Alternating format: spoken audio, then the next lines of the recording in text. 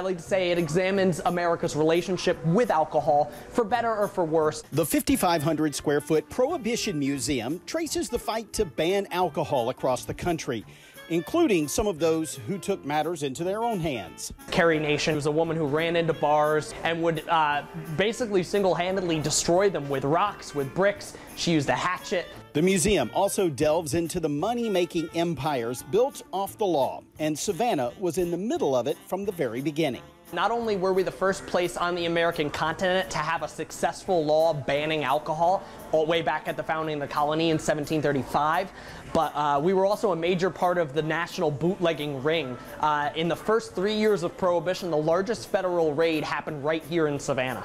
In the early 1900s, bootleggers were using large ships to bring liquor to the Georgia coast. Speedboats helped them avoid the Coast Guard and get that alcohol into Savannah before channeling it north and west with the help of some of America's most notorious gangsters. They had connections to Bugs Moran in Chicago. They had connections to Al Capone, uh, some of the people involved. So it was this massive national thing. But in August of 1923, federal agents started trickling into Savannah preparing to break up the largest known bootlegging ring in the country. When it comes time to write warrants, all of them are written out of a single room in the DeSoto Hotel instead of at the local police precinct. Uh, and so when August 16th comes, the raid basically comes out of nowhere and they indict 84 people on that day alone, over 120 indictments when it's all said and done. National Prohibition finally ended a decade later, and because it did, you can now end your journey through the museum with a sample of what the fuss was all about.